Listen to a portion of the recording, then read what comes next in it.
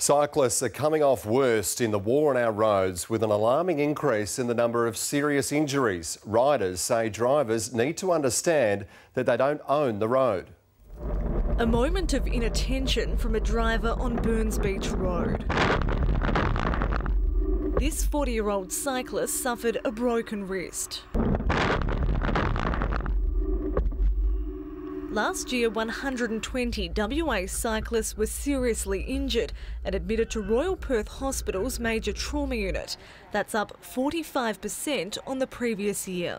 It really is a very shocking and sobering statistics that have come out today. For Ian Anderson, the statistics hit home. It's very upsetting but not surprising. It takes you back all the time. You, well, you relive that every day.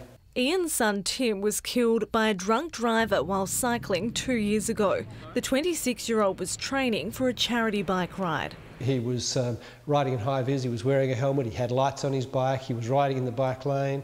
There was nothing more he could do. Cyclists are completely exposed. They're not even protected by the shell of a, of a car. So when cyclists are struck by a, by a motor vehicle, there is a risk that they actually get dragged under the vehicle. And doctors say one in five of those seriously injured cyclists weren't wearing helmets.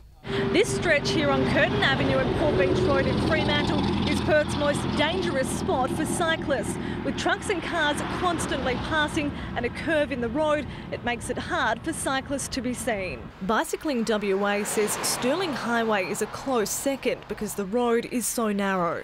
Bike riders have exactly the same rights and responsibilities as, as, a car driver, so they're legally allowed on the road.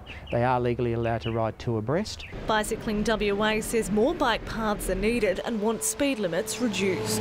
I think the, the message is we've got to share the road. Emma Sheridan, 9 News.